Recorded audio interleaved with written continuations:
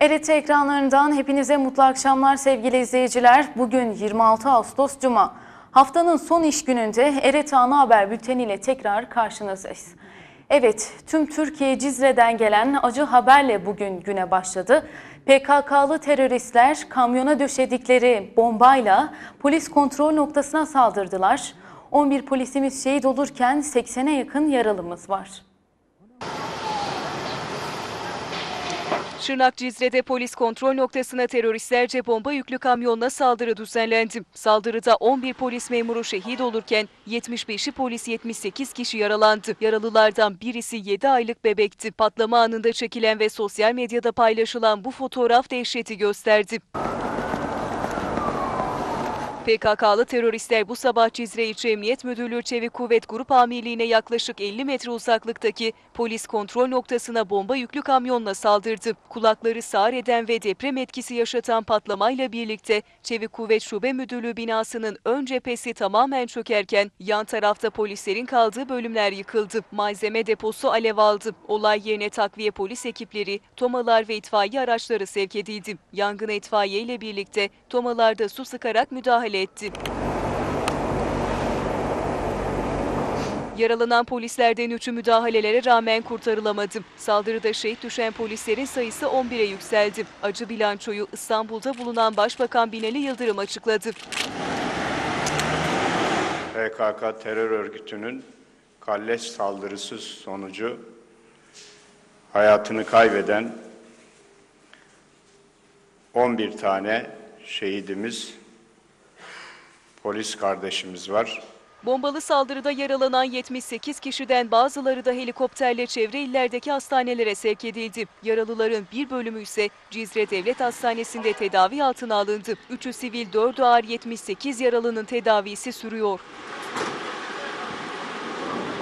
70'in üstünde yaralı şu ana kadar arkadaşlarımız e, olay mahallinden aldılar.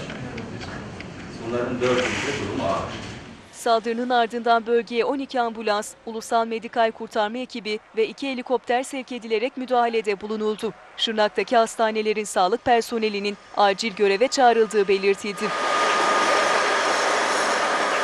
Anında hemen birkaç dakika içerisinde çok önemli sayıda ambulansı, ilave UMKE ekiplerini olay mahalline sevk etmiştik. Helikopter ambulanslarımız olay mahalline hareket ettiler. Patlamanın etkisiyle 7 aylık bir bebek de yaralandı. Bebek kaldırıldığı Cizre Devlet Hastanesi'nde tedavi altına alındı. Gelişmeleri an be an takip eden Başbakan Yıldırım, hiçbir terör örgütü Türkiye Cumhuriyeti'ni esir alamaz diye konuştu. Terör örgütü ne yaparsa yapsın, canımızı yakabilir, şehitlerimiz olabilir, acımız büyük. Ancak şehitlerimizi bağrımıza basacağız, acımızı kalleş terör örgütünü sevindirmeyeceğiz. Hiçbir terör örgütü Türkiye Cumhuriyeti'ni esir alamaz. Bu arada Rütük, Başbakanlığın yazısıyla Cizre'deki terör saldırısına ilişkin geçici yayın yasağı getirildiğini bildirdi. Öte yandan Van'ın İpek Yolu İlçe Emniyet Müdürlüğü'ne gece düzenlenen havanlı saldırıda ikisi polis dört kişi yaralandı. Bölgede operasyon devam ediyor.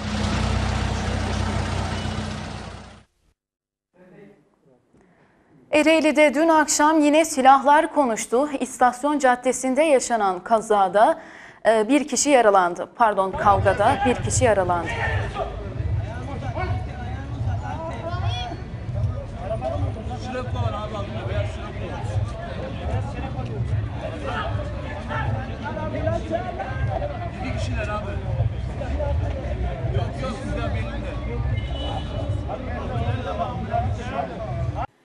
Ereğli'de şehrin ortasında yine silahlar patladı. Tekel ateş edilen şahıs yaralanarak devlet hastanesine kaldırıldı. Konya'nın Ereğli ilçesinde akşam saat 21.45 sularında istasyon önünde yaşanan olayda bir kişi silahla vurularak yaralandı. Sebebi henüz belirlenemeyen kavgada şarjlı motorla ilerleyen A isimli şahsın karşısına çıkan grup silahını çekerek bir el ateş etti. Şahıs karnına isabet eden kurşunla yere yığılırken görgü tanıklarına göre isminin ZP ve arkadaşı olduğu iddia edilen silahlı şahıslar olay yerinden kaçarak kayıplara karıştı. Olay yerine gelen çok sayıda polis tarafından inceleme ve soruşturma başlatılırken yaralı şahıs ambulansla Ereğli Devlet Hastanesi'ne kaldırıldı.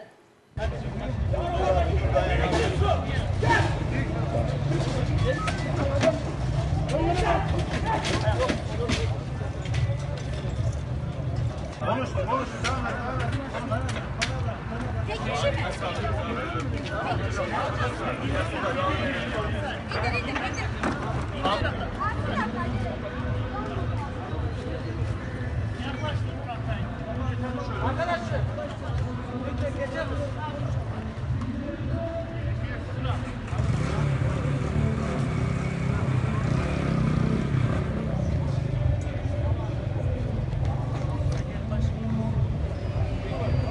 Orada olmaz zaten, şu tarafta oldu.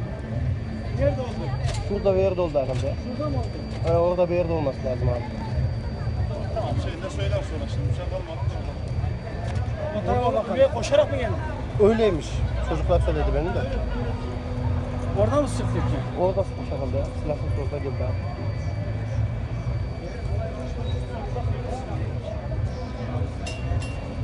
Hala göre göre geliyor ya. Vatan ya. Ben anlamıyorum. Oradan mı bakıyorsun? Birader var. Birader var var abi. Amir geldi abi. Ne gelmedi?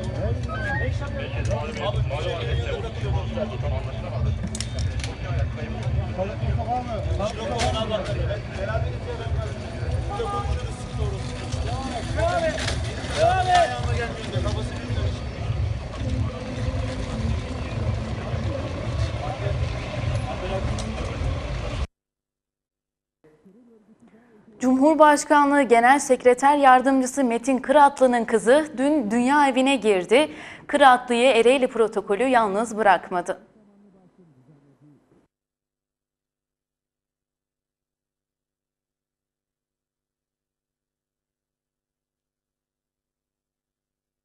Cumhurbaşkanlığı Genel Sekreter Yardımcısı Ereğlili Metin Kıratlı kızını evlendirdi. Cumhurbaşkanı Genel Sekreter Yardımcısı Ereğlili Metin Kıratlı, kızı Esra'nın düğün merasiminde sevenleriyle birlikte mutlu bir gece yaşarken Ereğli protokolü kendisini yalnız bırakmadı. Ankara Büyükşehir Belediye Başkanı Melih Gökçe'nin nikah kıydığı törene Ereğli Kaymakamı Ömer Lütfi Aran, Halkapınar Kaymakamı Erdal Çetinbaş, Ereğli Belediye Başkanı Özkan Özgüven, AK Parti İlçe Başkanı İbrahim Büyüktorun ve çok sayıda davetli katıldı. Ereğli'den düğüne katılan ve Kıratlı'yı bu mutlu gününde yalnız bırakmayan davetliler, Esra ve Burak çiftine mutluluklar dilerken her iki aileye de hayırlı olmasını temenni ettiler.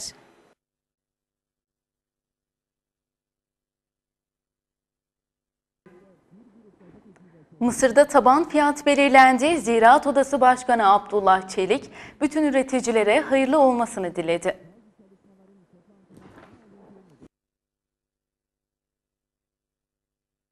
Mısır'da taban fiyat belirlendi. Ziraat Odası Başkanı Abdullah Çelik, geçen yıl ton başına 725 lira olan mısır taban fiyatının bu yıl için 740 lira olarak belirlendiğini bildirdi. Çelik, yaptığı açıklamada ülkede 4 Ağustos'tan bu yana mısır hasadı yapıldığını söyledi. Mısırın gerek hayvancılık gerekse nişasta açısından önemli bir ürün olduğunu ifade eden Çelik, Ereğli'de son 5 yıl içinde mısır üretiminde %40'lara varan bir artış gerçekleşti. Ereğli'deki dolu afeti ve kuraklık nedeniyle bu yıl Ereğli'deki rekoltede biraz düşüş olabilir dedi. Geçen yıl 725 lira taban fiyat açıklanmıştı. Bugün Gıda Tarım ve Hayvancılık Bakanlığı tarafından şu andaki hasadın taban fiyatı 740 lira olarak açıklandı dedi. Ereğli Ziraat Odası Başkanı Abdullah Çelik, bu yıl Ereğli Toprak Mahsulleri Ofisi tarafından mısır kurutma sisteminde de faaliyete geçeceklerini belirterek Ereğli Toprak Mahsulleri Ofisi de alımlara başlayacak dedi. Çelik, bütün üreticilerimiz için hayırlı olmasını diliyorum dedi.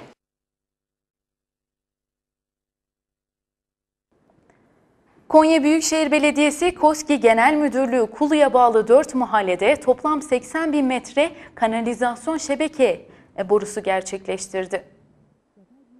Konya Büyükşehir Belediye Başkanı Tahir Akyürek, KOSGİ Genel Müdürlüğü'nün Kulu'ya bağlı 4 mahallede toplam 80 bin metre kanalizasyon şebeke çalışması gerçekleştirdiğini belirterek, şehir merkezlerinde var olan çevre kalitesini yeni bağlanan yerleşim merkezlerinde de aynı şekilde sağlayacaklarını dile getirdi. Kulu'da yürütülen kanalizasyon şebekesi çalışmaları yaklaşık 12 bin nüfusa hitap edecek. Konya Büyükşehir Belediyesi KOSGİ Genel Müdürlüğü Kulu ilçesine bağlı Zincirlikuyu, Alparslan ve Kozanlı mahallelerindeki toplam uzunluğu 35.596 metre olan kanalizasyon şebeke çalışmalarını tamamlarken Ömeranlı mahallesindeki 44.000 metre uzunluğundaki kanalizasyon şebeke çalışmalarında ise sona geldi. Konya Büyükşehir Belediye Başkanı Tahir Akyürek, Kozanlı, Zincirlikuyu ve Alparslan mahallelerine kazandırılan kanalizasyon şebekesinin önemine işaret ederek hizmet kalitesi ve sürdürülebilirliği arttırmaya yönelik çalışmalar devam ettirdiklerini belirtti. Başkan Akyürek, yeni Büyükşehir Yasası gereği tüm mahallelerin sorumluluk alanımıza girmesi, nüfusun giderek artması ve nüfusa bağlı olarak atık su miktarının artması dolayısıyla KOSGİ Genel Müdürlüğümüz tarafından Kulu ilçemize bağlı 2200 nüfuslu Kozanlı,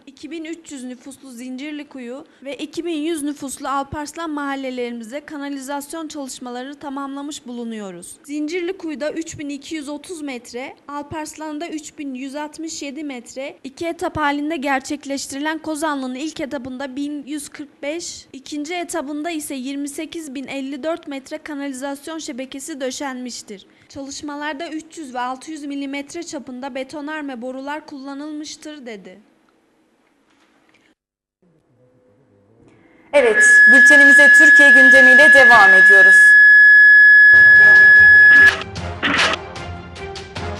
Suriye'deki Fırat Kalkanı operasyonu kapsamında ilk kez YPG'de vuruldu. Amerikan Dışişleri Bakanı John Kerry bugün telefonla aradığı Dışişleri Bakanı Mevlüt Çavuşoğlu'na PYD-YPG güçlerinin Fırat'ın doğusuna çekilmeye başladığını söylemişti. Ancak akşam saatlerinde keşif uçakları bir grup YPG'linin Cerablus'a hareket ettiğini belirledi. Menbiş'ten yola çıktığı tahmin edilen grup Karkamış'ta konuşlu fırtına obüsleriyle vuruldu. YPG'liler Cerablus'a 10 kilometre kala etkisiz hale getirildi. Gelişmenin ardından Başbakanlıktan da bir açıklama yapıldı. Operasyon kapsamında tespit edilen terörist hedeflerin en yüksek hassasiyetle vurularak bertaraf edildiği bildirildi. Bazı çevrelerin bir kısım medyada yer alan sivillerin hedef alındığı yönündeki propaganda maksatlı iddialarının da kesinlikle gerçeği yansıtmadığı vurgulandı. İlerleyen saatlerde TSK'dan da yazılı bir açıklama yapıldı. Açıklamada terör örgütleri tarafından kullanılan ve hudut bölgemizde güvenlik riski doğuran Suriye kuzeyinde icra edilen koalisyon harekatına destek veren Türk Silahlı Kuvvetleri, bölgede yaşayan sivil halkın zarar görmemesi için her türlü tedbir almakta ve bu konuda azami hassasiyeti göstermektedir denildi. YPG'nin vurulmasından saatler önce Özel Kuvvetler Komutanı Korgeneral Zekai Aksakallı Fırat Kalkanı operasyonuna katılan muhalif komutanlarla görüşmek üzere Suriye topraklarına Cerablus'a geçti. 15 Temmuz gecesinin kahramanlarından olan Korgeneral Aksakallı, Cerablus'ta önce muhaliflerle selamlaştı. Onlara tatlı ikram etti. Daha sonra muhalif liderlerle bir toplantı gerçekleştirdi. 15 saatte bölgenin DAEŞ terör örgütünden temizlendiği Fırat Kalkanı operasyonunda PYD-YPG'nin Fırat'ın batısına geçmemesi hedefleniyor. Ancak Cerablus'u alan Suriyeli muhaliflere göre DAEŞ karşısındaki ilerleyiş aylar sürebilir. Suriye Sultan Murat Tümen komutanlarından Ali Şeyh Salih gazetecilere yaptığı açıklamada Türk askerinin operasyon bittikten sonra Cerablus'tan çekileceğini belirterek Münbiç ve Elbap dahil olmak üzere Halep'in kuzey kırsalının tümü özgürleşinceye kadar operasyonumuz sürecek dedi. نشكر الرئيس طيب رجب أردوغان على الدعم اللامحدود اللي قدموه خلال معركة جرار. Operasyona desteği nedeniyle Türkiye Devleti'ne teşekkür eden Şeyh Salih, Türkiye Devleti'ne, Türk milletine, Cumhurbaşkanı Recep Tayyip Erdoğan'a çok minnettarız. Sınırsız destek aldık ifadelerini kullandı. Kolundaki mavi bandın anlamı da sorulan Salih, bu band sadece semboliktir. Kuvvetler, mücahitler birbirini tanısınlar, dost ateşinden yaralanmaması amacıyla takıyoruz dedi. Türkiye'nin desteğiyle DAEŞ'ten temizlenen Cerablus'ta kontrolün sağlanmasından sonra sınırı geçen Türk tanklarından bazıları Türkiye'ye geri dönüp sonra tekrar Cerablus'a doğru harekete geçti. Ancak bu kez izledikleri yolda dünyaya çok ince bir mesaj verildi. Yapılan bu hareketin hem yüksek vurucu güçle bölgeye yönelik tehditleri ortadan kaldırmak hem de Türkiye'nin gerektiğinde kara birliklerini, zırhlı araçlarını yeniden Cerablus'a sokabileceğini bölgedeki bütün unsurlara göstermek mesajı verildiği belirtildi.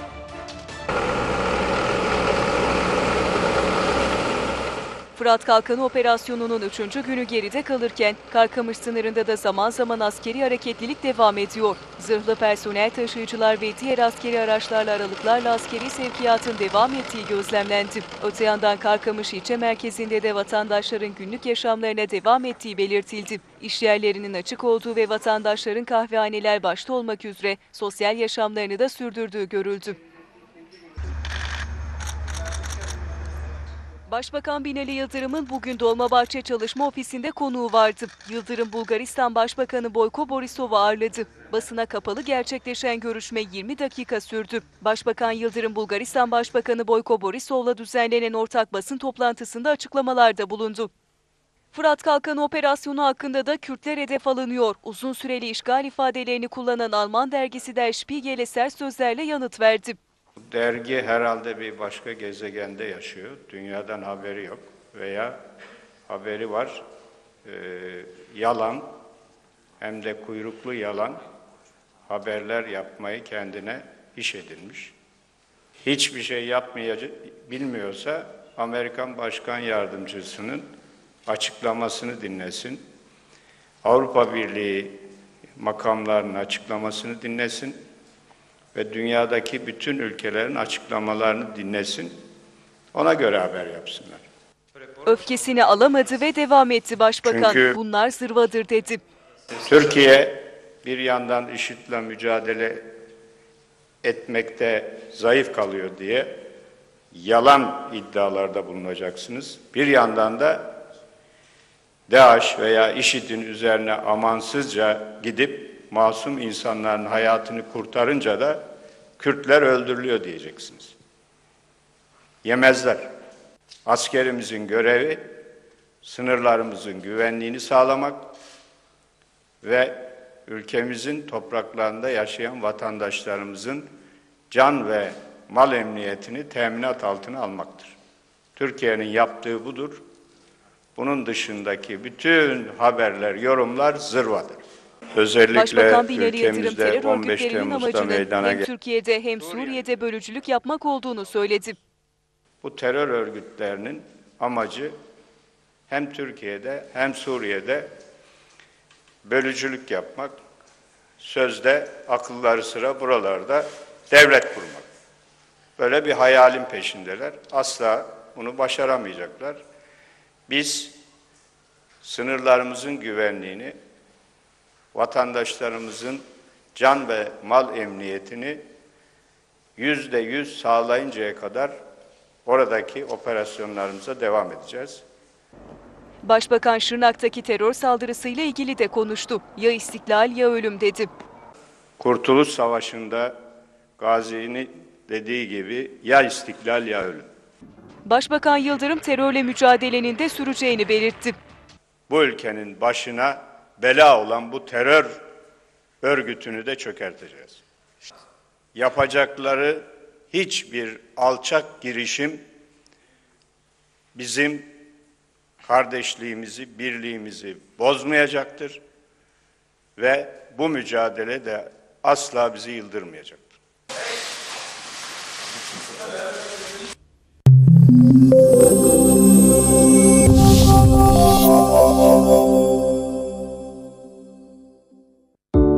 İvris Çelik Çatı ve Demir Doğrama Konya Ereğli'de sizlerin hizmetinde. Dürüstlükten taviz vermeyen İvris Çelik Çatı ve Demir Doğrama, kapalı besi, açık besi ve yarı açık besi üniteleri, paket olarak hangar ve çelik çatı ve çelik konstrüksiyon işleri yapılmakta. Kalitenin tek adresi İvris Çelik Çatı ve Demir Doğrama'da firma tarafından yapılan kapalı besi ve süt ineği ünitelerinde çelik çatı ve balya hangarları, metre sınırlaması olmaksızın sağımhane, otomatik sihirgaç, yataklık demiri, kilit sistemi, yem yolu ve daha çok fazlası deneyimli elemanlarıyla sizlere imalat ve montaj hizmetleri de vermekte. Adres Çömlekçi Mahallesi, İvriz Caddesi, numara 7, İvriz Petrol Yanı, Ereğli, Konya. Telefon 0505 896 7591. Yaptığımız işler, yapacağımız işlerin teminatıdır.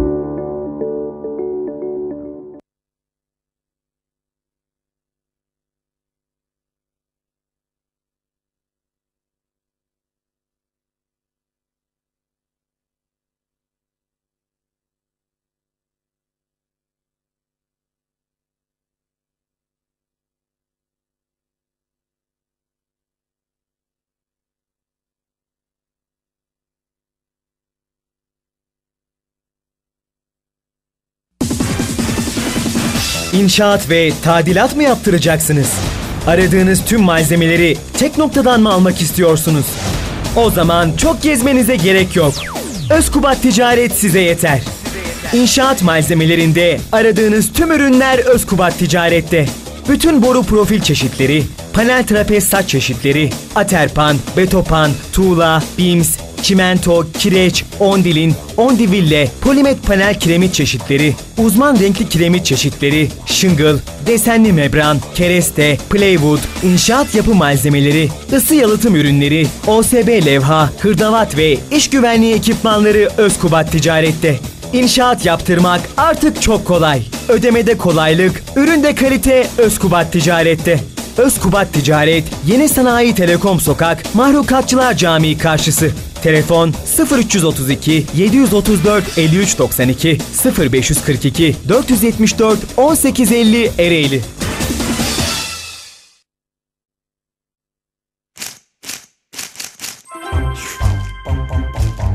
Resto, organik meyveden yapılan nefis dondurma Resto. Kendi imalatımız bal badem, frambuaz, ahududu, karadutlu Resto, antep fıstıklı, çikolatalı, sade ve meyveli dondurma Resto. Gösterişli sunumuyla sağlık deposu Resto dondurma.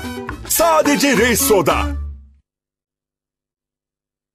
Zamanın ruhunu, yapılardaki değişimi ve yeni yaşam konforunu öngörerek tecrübe ve teknolojinin uyumuyla Fıratbe'nin en estetik, en güçlü profilini tasarladık. Selenit.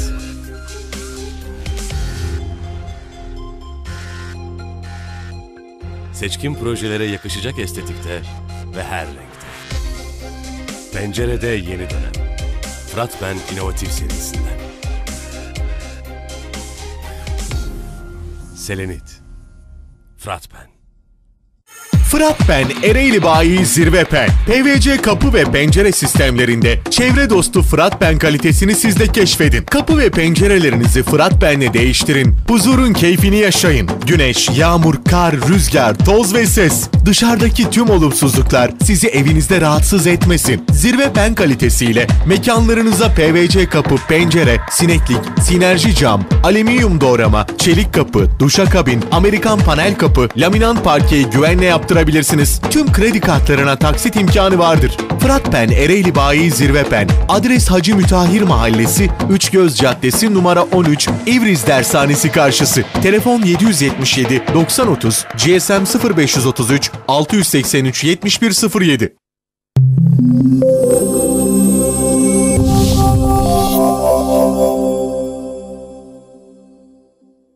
Zirai mücadele ilaçları, tohum ve makine bayi Tunç Tarım. Adres Hal Yokuşu, Aköyük Çiller Sulama Birliği altında.